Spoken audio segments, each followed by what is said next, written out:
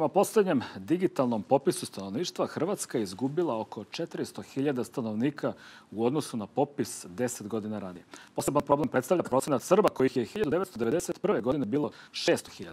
Prema procenama, u Hrvatskoj danas živi šest puta manje Srba. Da li je to procenat koji je nepovratan? Šta je uzrok za ovako stanje?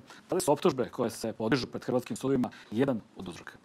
Da, o tome ćemo razgovarati narednih, narednih nekoliko minuta sa istoričarem Nebojšćem Damjanovićem. Dobro jutro. Dobro jutro. I predsjednikom udruženja Veritas Savom Štrpcem. Dobro jutro. Dobro jutro, dobro jutro. Pa, rekli smo i na samom početku jutarnjeg programa, dakle, nove optužni, optužbice, čak 88, ako se ne varam, imamo ovdje podatak, sad je negdje među papirima. Reći vam ja, dobro. Da, ajde vi da nam kažete. Jel... Taj broj 88 je iz Veritasovog saopštenja od prije neki dan.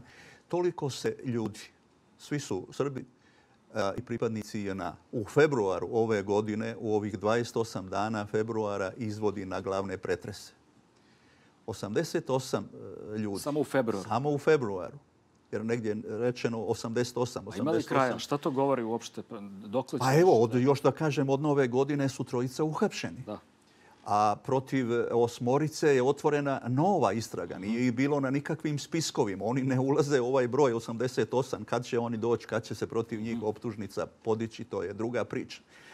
E, sad, jedan ovaj koji je uhapšen od nove godine je od 99. sa porodicom iselio u Veliku Britaniju. I od 2006. dolazi u jedno svoje selo tamo rodno kod uh, Karanace, zove činim se kod Belog manastira, E, Eh, to je miješano selo Mađari, Srbi, Hrvati.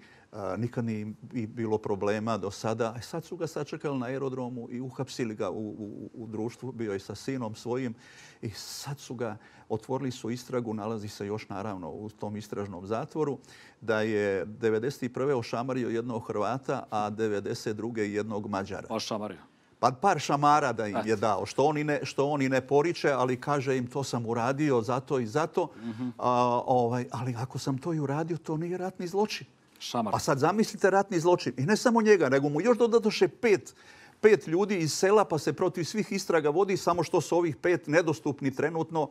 Jedan od njih, ovo je interesantno, javi mi se ovaj, telefonom, on je sad u Austriji e, i e, otac mu je Hrvat, majka Srpkinja, ali je živio u tom selu i njega su stavili. I onda on meni kaže, pa ja sam tad išao, bio sam u srednjoj školi još. Hm. Nije bio ni puljetan. I pita kako se može odreći hrvatskog državljanstva. Pa mu ja savjetujem šta će se odrica, nije ti krivo državljanstvo, to ti pripada po rođenju, neko je drugi kriv. A, da, tako to... Veći ratni zločin ispada, ispadaju ove optužnice u odnosu na taj primjer Šamara, recimo. Evo, gospodine e, Damjanoviće, šta vi, ja, ja bih malo istorijskog ugleda da se dotaknemo zbog čega smo vas i pozvali. To Srbi negde greše. Gde mi to grešimo? Pa, znate, se ovako postupa prema Srbima u Hrvatskoj. Problem je stari i pastar. Evo, ja ću posjetiti na nešto što je preko 100 godina staro, ali zvučeće vrlo aktuelno. To, I to pazite, to je vreme uspona civilizacijskog i na ovim prostorima. Kraj 19. početak 20. veka. Napreduje i srpska zajednica u Hrvatskoj i sama Hrvatska, to je u okviru Austro-Ugrske. Veliki i žestoki istupi protiv Srba u Hrvatskoj kraj 19. početak 20. veka. Budimo precizni. 1895. 1899. i vrhunac 1902. Pazite, masovni napadi u Zagrebu i u drugim nekim mestima na srpske radnje, na, na, kako bih rekao, na Srbe. Šta je izazvalo? Isticanje srpskih zastava. To je zastava nekog drugog naroda, neke druge države. Ne priznaju da postoje Srbi u Hrvatskoj hoće da kažu da su to neki pravoslavni Hrvati. I pa onda, znate, sve je to do, a, doseglo, kažem, a da, bitno je ovo reći. Zašto to javno ne kažu? Nego, nego... Rečeno je i javno. 1908-1909. bio je veliki proces protiv 53 Srbina, takozvani velizdajnički proces u Zagrebu. Tužilac je na kraju zatražio smrtnu kaznu za sve. Pokazat će se dobili su oni neke robije, a onda ih je Franja Josif car pomilovo i pustio braća Pribićević i čuveni Sabanije i drugi. Znate, o, a, I onda je tužilac, a još su bili iz raznih mjesta Hrvatske, ovaj, a, tužilac je ovako tada rekao u svom obrazlaganju, nisu nikakvi Srbi ovdje došli. Istorijski izvori govore o vlasima. To su neki vlasi. To je neko neorumunsko stanovništvo, ali njih je crkva pravoslavna uzela po svoje i dala im srpsko ime. Oni, mi nećemo dozvoliti nikakve Srbe ovdje. Pazite, a, a i ovo je interesantno. jedna od ovih velikih buna i napada na Srbe bila je povodom 50. godišnjice rada Jovana Jovanovića Zmaja, koji je inače, hajde to da kažemo, bio neki apostol jedinstva. On je uvek ono, pa dragi Srbi i Hrvati. On je bio malo naravno, u Vojvodini, malo u Beogradu, naravno. u Beču. Došao je u Zagreb da. na molbu da bude tu kao neki autoritet. 50 godina njegovog rada je iskorišteno za veliki napad na sve što je srpsko. Mislim, znate, ovo se preskače, da ne kažem, tome prije drugi događaj. To su procesi decenijski. Recimo, 1870-ih, hrvatski ban je Ivan Mažuranić, čuveni. Bio je nekada, ja ne znam, pa kad smo kolega Savo i ja učili školu, Ivan Mažuranić obavezan u programu e, pesnik za smrti Smajla Age Čengića. Neko on se uvek predstavljao kao neki, eto, jugoslovenski lik. Upravo za njegovog banovanja veliki progoni Srba počinju. Baš tada. On se okomio od Ivan Mažuranić da zabrani srpsko ime. Pa je recimo, ajde da budemo konkretni, zabranio učiteljsku školu u Pakracu. Pakrac, zapadna Slavonija, to je vladičansko mesto, to je uz onaj plaški gore u lici, to su neka mesta stara, vladičanska, zabranio je, znate. I svuda, ne, e, čak neka pevačka društva i tako u Gospiću u lici, zabranjena zbog imena kako to da se zove srpsko? Hajde da bude pravoslavno i nešto, pa hajde. Ali jako im je smetao pridev srpski i ime srpsko, a recimo list u Gospiću se zvao kratko Srbin. Pa Istorija to... se ne menja, tako i dan danas, rekli bismo, i bilo je 90. godine, a nažalost i dan danas. Gospodine Savo, vi, vi vaš zapravo Veritas ima obivnu građu od šaljima 90. godina u Hrvatskoj. Koliko sve to može da doprinese i pomogne kad pričamo o, o, građanima, o Srbima u Hrvatskoj? Pa, mi smo s tom građom, s tom dokumentacijom izišli van okvira bivše Jugoslavije. Došli smo pred eh, ovaj Međunarodni krivični sud za bivšu Jugoslaviju, ovo što zovemo Haški tribunal. Tamo su izvedeni i ovaj, neki generali hrvatski. Sudilo im se za ratne zločine eh, počinjene u, nad Srbima, posebno u Bljesku i Oluji. Došli smo pred i Međunarodni eh, sud pravde isto ovaj, e, to je isto sud Ujedinjenih nacija, to je bila ona tužba i kontratužba. E, sastavni dio kontratužbe su bili e, spiskovi Veritasovi. Naša, na osnovu naše dokumentacije je napravljena ta kontratužba protiv Hrvatske za genocid nad Srbima u toku akcije Oluja. Ja sam bio tu i stručni, i stručni svjedok. Znate, ta, ovaj, u tim, u tim, došli smo i pred federalni sud u Čikagu gdje je bila tužena jedna američka organizacija za saučesništvo u genocidu.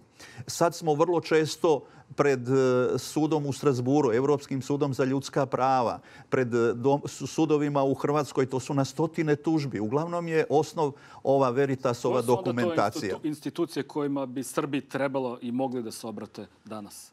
Pa, nažalost, evo samo da vam kažem, jučer me zove čovjek Srđan, Srđan se zove, on sad je u Vukovaru, oca su mu uhapsili u, u septembru, početkom septembra, još je u istražnom zatvoru.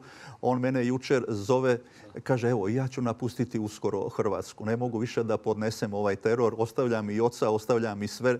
Bio sam samo jednom u posjetu. Svi vas zovu. Pa da, pa da, ajde. Neka pa- institucija, pa, nešto preko ovog primjera, on kaže, mi se nemamo kome obratiti, ni ovdje, ni u Srbiji.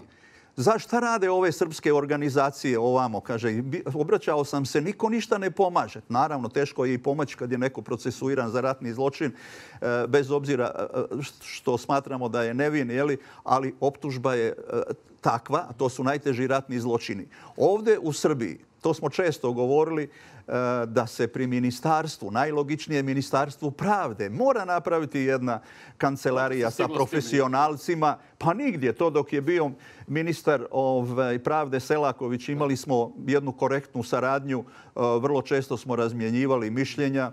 Ovi novi ministri sada niti ih je briga, zato niko više ne spominje tu kancelariju, a bili smo, on je bio čvrsto obećao da će biti takva kancelarija. Sad se ti ljudi obraćaju, evo, iz cijelog svijeta, iz Hrvatske i Srbije, verita su, mi smo nevladina organizacija, mi nemamo moć. Sve, sva naša moć je jeste što imamo tu dokumentaciju i što ja kao iskusni krivičar mogu da im dam savjet i ovom jučer dečku, pa i ovom jučer dečku, recimo, ovaj, on prvi put je čuo od mene eh, kakva su prava njegovog oca, jeli, ovaj, da može i tražiti da se brani sa slobode, da da ne znam, on čak ne zna ni koga komu oca brani, iako evo skoro šest mjeseci koga brani, komu je advokat po službenoj dužnosti vrlo bi, vrlo bi praktična bila jedna tako kancelarija da, gdje bi se ljudi mogli obraćati. Pa ovdje vam je, ovdje vam je mnogo, preko hiljadu ljudi sa tih potjernica, samo u Srbiji živi. Dali ste na šlagort i naravno pozvaćemo i, i ljudi iz Ministarstva pravde jednostavno da i na ovu temu razgovaramo. Još samo evo rečenica da, da, da, da sad očekujemo knjigu procesuirani pred hrvatskim pravosuđem. Tu je preko 3600 uh, procesuiranih za ratne zločine. Uh, I sad svi će oni biti ovdje u ovoj knjizi, pa će se vidjeti šta su to, koliko to ratnih zločinaca, uglavnom su ima nešto preko stotinjak pripadnika hrvatskih oružanih snaga, pa ona je već gotova, sad je u prelom, uskoro treba da ide u štampu. Ali ta knjiga treba da ode i u svet, boga mi, da ne kažem u region. Da, treba, svakako. Evo, gospodine Damjanović, ako možemo ukratko u jednoj rečenici da, da, da nekako odjavimo kroz istorijski opet moment Jesmo li nešto naučili onda od, iz istorije? Pa nadajmo se, iako znate, znači, postoji taj veliki problem i, i odavno postoji, on nije nepoznat, posebno znaju Srbi, da kažem, preko Drinski, Srbi iz te, tro, nekad se govorilo trojedne, jel da, Srbi, a, Hrvatska, Slavonija i Dalmacija, gdje ih je bilo početko Srba naših samo u Hrvatskoj i Slavoniji oko 700.000. Istina, tu i Srem spadao. Mm -hmm. To je istina. I Srem je spadao oko 700.000, čuli smo ove brojke, mnogo više nego Srba u ostatku Vojvodine i u Mađarskoj. Znači,